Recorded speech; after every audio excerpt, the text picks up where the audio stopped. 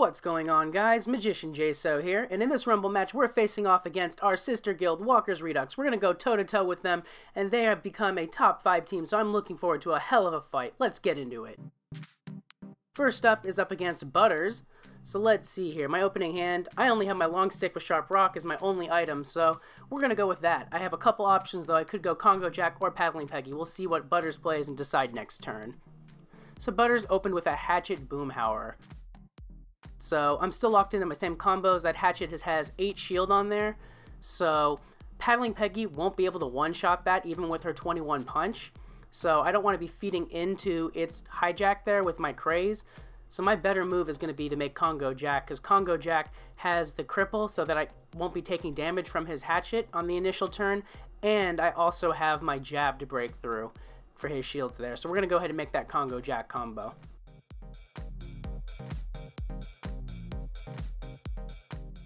Next up, he drops a hose to the head in slot 2 there. So that's going to be a little bit annoying to deal with with its bomb and its healed armed cards. At this point, I have a couple options. I could try to set up a freezer burn with Doomsday. I could also do the Whale um, Hunter with Amy. Or I could throw, throw down my long stick and do my um, combos there with those two as well again. So I have a couple options here it's going to be tough because that has 19 attack and it has that 17 bomb. So either way, I'm taking damage. I'm going to go with the long stick just because it has a bit more shield on it, and I can try to figure out what I want to do about this later. I'm going to draw this match out. Luckily, his hatchet's going down this turn, so he's not going to be building a wall on me, so I do have time to draw this out like I wanted to. So right here, I am going to take a bit of damage on both cards there, unfortunately, so I now need to combo something. I could go the Paddling Peggy, or I can go for another Congo and maintain my, um, maintain my cripple wall here which is the way I'm going to go because I want to just minimize all incoming damage. And by doing that combo, I did give my first Congo Jack a health boost there by 21. So that expands my health pool a bit, and it does give the initial Congo Jack in slot 1 more of a shield. So Butters went and comboed into Klaus on Wheels, which is a really good combo. It's annoying to deal with because it has a lot of health, a lot of leech, and it has that motivate to arm, which is annoying to deal with. So I'm taking quite a bit of damage at this point. I now need to get my heals up, so I'm going to play my Doomsday device. I can try to combo next turn with my Peggy. For the Battle Axe Peggy, she has 20-something heal, so that'll actually help me out to get my health back up. And luckily, I did take out his hose to the head there on that turn, so now things are finally in my court here to where I can try to turn it around and maintain my health back up to full so that I can get a higher score. So we're going to make that Battle Axe Peggy to take advantage of that 23 heal there. That's another boost on the initial Congo Jack and the Congo Jack in slot 2, so that does increase my overall health pool because of that boost. And now I'm also going to get that Congo Jack healed up because of the Battle Axe Peggy's heal there. So if you look, I'm already looking like I'm almost back to full health there. It should be over on this next turn, I don't believe he's going to be breaking through my shields there at that uh, two attacks, so I just need to play my highest HP card on the field here, because it's over this turn, so I want to expand my health wall as far as possible to maximize score. So that's why I dropped my Lois on the field. But it is over this turn. Congo Jack and Slot 2 will be taking out the cock gun, and then Battle Axe Peggy will be ending it.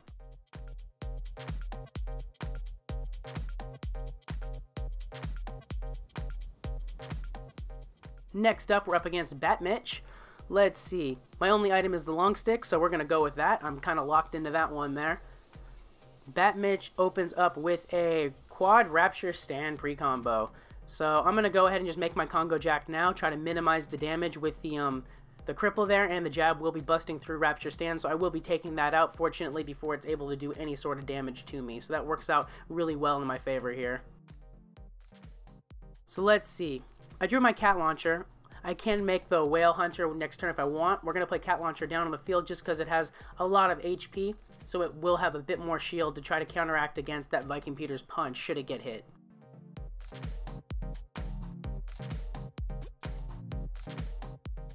Yep, so nothing to it there. So I have some options. I can go another Congo Jack, or I could have did the Amy one. I decided to do Congo Jack because the Viking Peter there actually does have the bodyguard, which would be blocking stuff. I would much rather have two Congo Jacks there with the cripple, so I'm crippling all possible cards on the field for them to minimize incoming damage. That way, I would not be taking anything. And that worked out for me here, because if you look, had I not had that cripple on that chainsaw, if it went to the one Viking Peter instead, I would have taken quite a bit more damage, and my Congo Jack would have been gassed. So it was the better move, I think. So we play Bazonga Bazooka on the field because that has my own bodyguard now to protect against punches. And it also has 14 healed armed cards, so it could help me get my cards up to full health should I need to get them up there. So they drop a Dr. Amy Wong in slot 3 there. That's a little scary because they can't make a Whale Hunter of their own. So unfortunately, the chainsaw was able to break through that time, so I am gassed on slot 1 now, unfortunately. Let's see here. I have some options. I can go a third Congo Jack, or I can do a Whale Hunter Amy. If you look here, I did the Congo Jack because I was so focused on the cripple there, but that was a mistake. My Whale Hunter Amy would have been better because I need to ensure I destroy his Amy before he combos because if they make Whale Hunter, I'm in trouble. And sure enough, there's the Whale Hunter for Bat Mitch. So that was my mistake. Had I played my Whale Hunter, I probably would have taken out the whale hunt. I would have taken out the regular enemy before they even made the combo, but because I didn't, I'm now taking a lot of damage, and it's going to be my win this turn now. So I just have to play my highest HP card. But this could have easily been a high 90 to 100 had I just played my um my whale hunter instead of trying to build a giant cripple wall there where I didn't need it. Next match is up against Powwow. So my only item is the Bazonga Bazooka, so we're going to go ahead and open with that. I do have some options, though. It does combo with all three of my characters in my hand. So I do have options based on how Powwow plays his moves here. Powwow opens with a Quad Peter. So let's see how I want to play this. His Peter is shielded by two for the um for his Gene character there. I could do Whale Hunter. Unfortunately, like even with my punches and jabs, that's not going to one-shot it though. And then my other option is Congo Jack here. I could do that one to break through the shields as well, and it does have the cripple. I end up doing the Whale Hunter Amy though, just because I do like the idea of having the bomb for whatever card drops in slot 2, because no matter what I did, there was no way I was one-shotting that Peter. At least this way, I have a chance to bomb his card in slot 2. So at this point, I just want to keep playing my armed cards to maintain my shields, to maintain health. That's why we're playing Hatchet Boomhauer, as it is my only armed card in my hand right now. So luckily we got a good punch there. We knocked down the Antichrist to 5 HP. So I'm in a pretty good spot. I think I take a little bit of damage here from the Antichrist. Not too much though. So still in a pretty good spot. I'm now out of armed cards though. So we're going to go ahead and just try to play my Dr. Amy Wong. Because she's high HP and she has that bodyguard. So the bodyguard will at least be protecting her from errant punches, some bombs, and it'll also be protecting Hatchet Boomhauer from punches and the like as well. So Powwow combos into the Gender Bender there in slot 1. That's going to be giving me a bit of damage. So here's the thing. I could combo my Whale Hunter right now and end it, but I want to give myself an extra turn to heal up. So we're going to play Cat Launcher in the final slot there. It's high HP, and there's just enough attack between Hatchet and Dr. Amy Wong to where it's not going to be ending it this turn. So I do have an extra turn to get some heals in to try to maximize score here.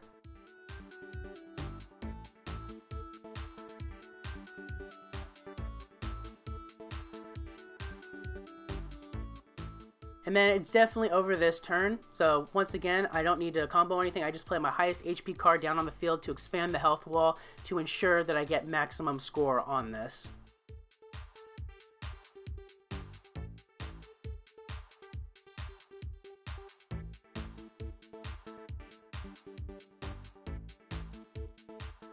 And next up is up against Kyle B2002. I'm going to go ahead and open with my Doomsday as it is my only item card. I do have some options this next turn, though, so we'll see how we want to play it. They drop an Oktoberfest Amy quad. So here are my options. I could go for the Whale Killer with Leela. She does have the leech there to help me and all the boost and um, everything. Whale Hunter, unfortunately, would be a good option if it would one-shot, but it won't one-shot. Freezer Burn's a decent option too because of the cripple and gas, so we're going to go with that one there, just to try to minimize incoming damage, and I'll have a heal, heal wall down the line to help my cards. So Kyle drops a Powder Puff, single fuse in slot 2. At this point, I have a couple options here. I do want to try to play towards the arm though, so we are going to play Cartel Klaus. It has high HP, so it's unlikely that they're going to be breaking through with the attack there. And I do have the Leech and Gas there. Plus the um, Hijack can help steal any Craze or Motivate, which actually works wonders here because he dropped a Half Dog Gene there. So I'm stealing all of that. We're going to play Long Stick now because it is my highest HP card, as well as just being an item that I could potentially combo down the line here. So Freezer Burn is going to go ahead and do a little bit of damage there. Cartel Klaus does some more damage as well. Powder Puff definitely is not breaking through here, though, because the shields are too high on my Cartel Klaus, and I'm just hijacking all of that with my um skill there on him. I've now broken through a lot of his walls there. So I'm going to go ahead and probably combo my Congo Jack here because I can use utilize the cripple here to ensure that no attacks are getting off the ground and it's increasing my shield as well on that last card to ensure I'm not taking any damage. So Kyle drops his Mythic Peggy in slot 1. That would have been scary if he comboed that early on, but at this point, it's going to be pretty much my win. I'm in a great spot here, so I'm going to just keep playing high HP cards on the field here just to maximize score.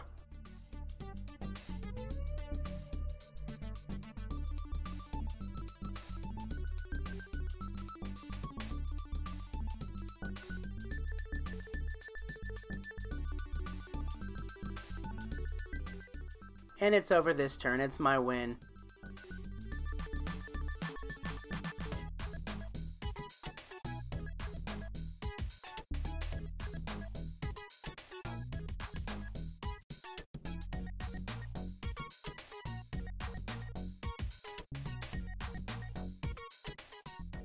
And next matchup is up against Jigglypuff. So, I only have one character, a couple items. We're going to do the Doomsday as it is my hardest hitting item card. JP opens up with a Jealous Bobby there.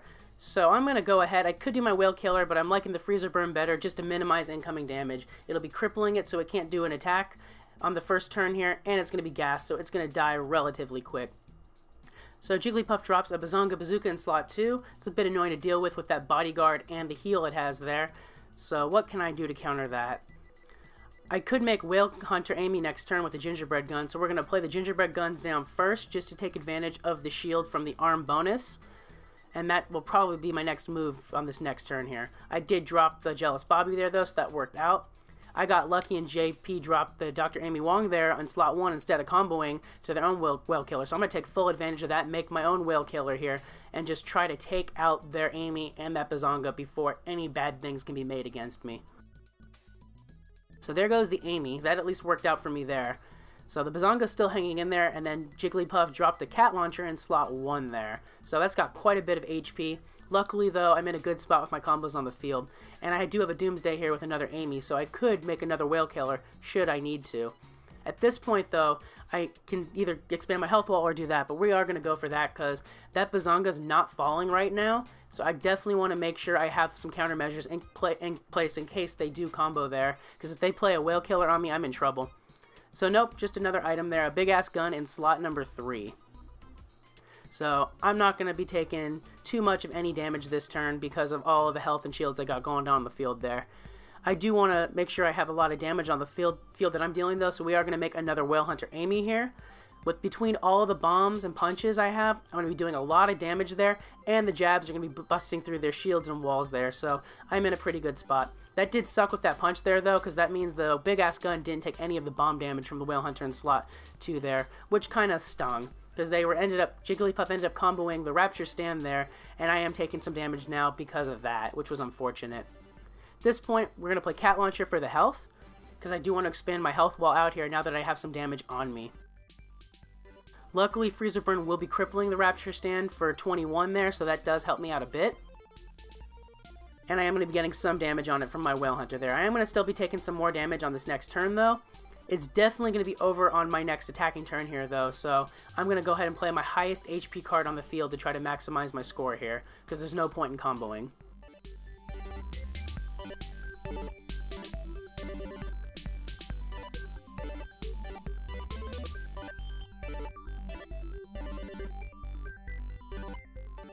And luckily, Freezer Burn healed everybody up to full, so that's going to be my 100. And next up is up against I Am Her for the win. I am going to thoroughly enjoy this. Let's open up with Doomsday. So what's what's I Am Her have for me? He's got a Bazonga Bazooka. That's got some scary potential. So I have some options now. I could do my Freezer Burn and do the um the Cripple and Gas there. Or I could do my Whale Hunter Amy. Or I could do my Whale Killer Leela. I'm gonna go with the Killer Leela though, just because I'm gonna want that um that leech in there. Just because I know the combo potential his deck has. It could be a lot of hard hitting stuff, and I'm gonna want to have my health back up. So let's see what I am hers got for me here. Yep, plays the Battle Axe Peggy. So That's going to be annoying to deal with. It's going to be crazing a lot each turn there. I'm glad I went with the leech route just to keep my card alive. And if I can combo, I'll be able to boost my attack. So we're going to maybe go for that um, Freezer Burn and combo in slot 2 here next, because that'll give me some cripple and some more heal, as well as the gas. So Whale Killer does some more damage there, and is hanging in there with the leeches, getting back up to full. I Am Her drops a Dance of Peace in slot 2. Not too worried about that, I can eat through that for breakfast. I do want to make a combo here, though, just so that I don't lose my Whale Killer to the Battle Axe. So we're going to make Freezer Burn. That's going to boost my attack up of the Whale Killer by 21 and give me a boost of the health there as well by 23, which also increases my, um, my shield from the arm bonus. So yeah, I'm back up to full health with the Whale Killer there, and then the Battle Axe Peggy is definitely going to be falling this next turn.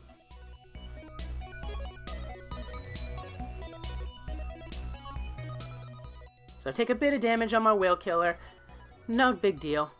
Freezer Burn took a bit of damage too, but like I said, not a big deal. We'll play my Bazonga just because it's going to have the shield. It does have more potential heal for armed cards as well, and I have that 8 bodyguard should I need to be protected against punches or anything.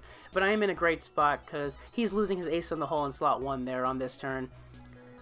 And then with the heal from Freezer Burn, my Whale Killer's back up to full HP, so I'm in a really good spot. He drops the Hip Hop Bob in slot 1, which could be a scary card to deal with, all the punch and craze, but my Whale Killer is already so high up there with the attack, I can one-shot it easy. At this point, I do want my Freezer Burn to get healed back up to full, so instead of comboing the Bazonga Bazooka, I'm going to play a high HP um, arm card down there, because I can take advantage of the heal from the Bazonga Bazooka to go to my Freezer Burn to heal it back up to full HP, to try to maximize my score and make this 100. But his Hip Hop Bob is going down this turn from the Whale Killer. I'm not too worried about October Brow. It's not going to be breaking through my um, shields for Bazonga Bazooka. So everybody's now back up to full. So I Am Her now drops a Buzzsaw. Has a lot of HP and has 7 payback. Even I have the shields right now though, so I'm probably fine. But I'm going to go ahead and combo Whale Hunter Amy anyways, just to put Whale Killer's attack way over there to one-shot the Buzzsaw, because I really want to drive the defeat to him home on this um match here. I want him to feel the pain. So we're going to go ahead and just blast that card into Oblivion and take the win here for 100. Next match is up against Near the Beach. So I only have my Candy Cane gun as my item, so that's my default move here, and we'll decide on the combo afterwards. So let's see what Near the Beach has for me. He plays a Bazonga Bazooka. Again, scary combo potential. I have my Whale Hunt, uh, my Amy, I can do Whale Hunter or I can go Freezer Burn. Let's see here. It's a tough call to make here, because they both have their uses depending on what he combos there. I do like Freezer Burn, though. It has been working out for me pretty solidly this Rumble because of the cripple and gas there. Especially if he makes a Whale Killer on me, I might want this to get rid of it. Yep, and there's the... Made the Whale Hunter there with the Amy there. So that gas will definitely be helping me out to get rid of that.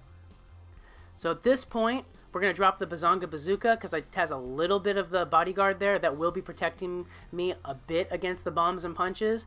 And it does have 14 heal should I need it to heal back up. So we're going to drop the Bazonga Bazooka there. I could also make a combo on the next turn too, should I need it. We'll see how much firepower I need. Because that Whale Hunter Amy's not going down this turn, that's for sure. Luckily, I am minimizing damage though with that cripple. So, Near the Beach dropped a Roger in slot 2 there. So, yep, there's the punch on Bazonga. I blocked some of it with a bodyguard there. So at this point, I can do my Whale Hunter, because I, I could have did my Leela combo there to have um the the Leech to try to get that card back up to full, but at this point, I wanted to ensure that Near the Beach's um, Whale Hunter Amy went down this turn, so I made my Whale Hunter just to ensure that went down to not take any more damage. So, unfortunately, they did combo into Ricky Spanish there, pretty annoying to deal with with that 17 payback damage, that 17 gas, and it has 20 leech. That's a very annoying card to deal with. At this point, I'm gonna I don't have much I can do. I have no items in my hand. So I'm to go ahead and just start throwing out high HP arm cards to try to keep my health up high. Because that thing is shielded for 17. Here's the thing though, a better I play my hatchet, but a better move might have been to play my um my Leela for the motivate. Would that have put me over the edge? Because my Leela has 10 or 11 motivate. No, the attack is down there. It wouldn't have given me the one shot there even with it. So I think I still made the right move there. Because if I played Leela, she would have just taken bomb damage from the Ricky Spanish here. Yeah, I think I made the right move. So we'll go ahead and just keep playing out cards. This one right here, though, was a mistake.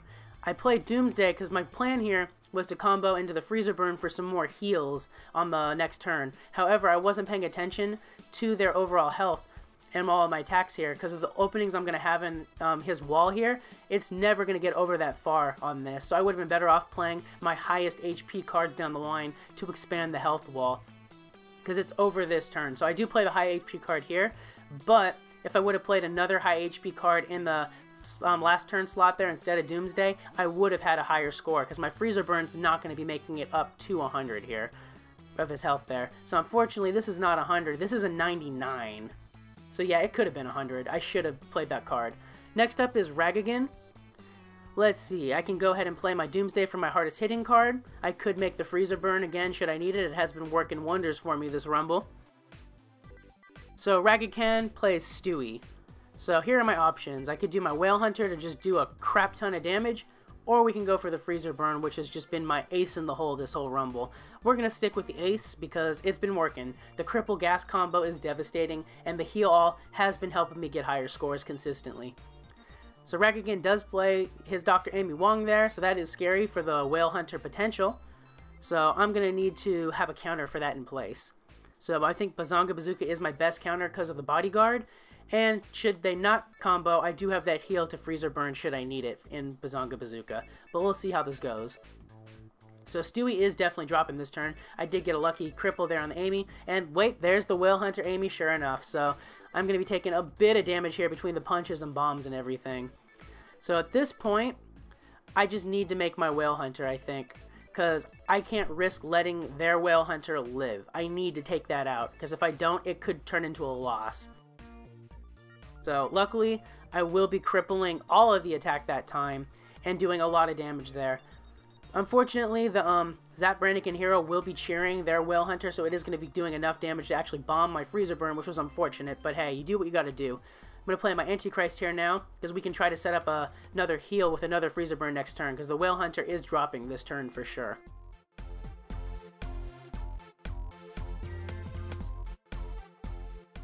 Yep, and there went the entire line, so I'm in a good spot here. I could expand the health wall more and try to end it next turn, but at this point, I just want to get more um, more heal to my Freezer Burn in slot 1. I don't want to risk any more damage on him, so that's why I make the Freezer Burn combo here, because the attack will make it all the way over there. I will get a 9 heal all to boost up the Freezer Burn in slot 1, and it is over this turn.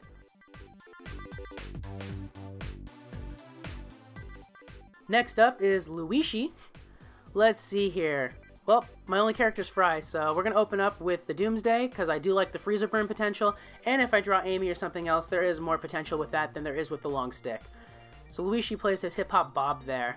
So we're going to go ahead and combo to the Freezer Burn because that's the only combo I can make. Luckily, the Cripple and Gas will serve me well to take out the Hip Hop Bob before it does any sort of major damage on me. Luigi does drop his Mythic Bob though in slot 2, which is nice. So I now need to come up with a counter for that. So, couple different ways I can play this. I could try to play my um, cat launcher there for the health, as well as having um, higher shield. I could play the long stick there for the higher health. It'll have some shield, but it'll also have the punch and gas to gas Bob. However, I think Cartel Klaus might be the better way to go. Here's why.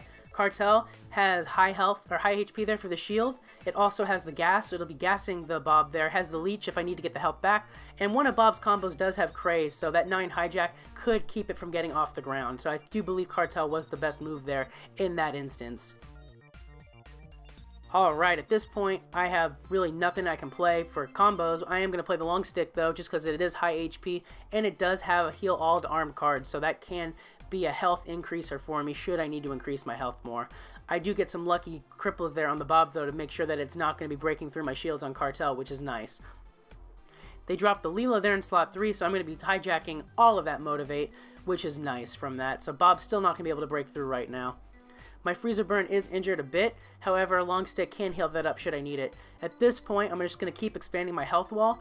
We're going to do that with Bazonga because I do have that um, bodyguard there to protect it and the flank card on the left there, and it also does have that 14 heal to an arm card, should I need to heal up more cards to get my health all the way back up to full here. Bender is going to be falling this turn, so is the Bob, so I'm in a pretty good spot here. Unfortunately, the Leela's not going anywhere, but all of my cards are at least pretty high on health. and they don't combo the Leela, they play the Nibbler there in the first slot, it is going to be over this turn. So there's no need for me to combo anything. I can go ahead and just throw out my um my highest HP card to expand the health here because the attack will be getting over there to the Bazonga Bazooka. So that should be enough to end this, I believe. No, you know what? My math was wrong there. I am better off comboing because I do want to end it this turn. So we are going to do that because I'm at least still getting a heal here. My um, long stick, it is going to have to go all the way to the Whale Hunter to get the final hit kill here.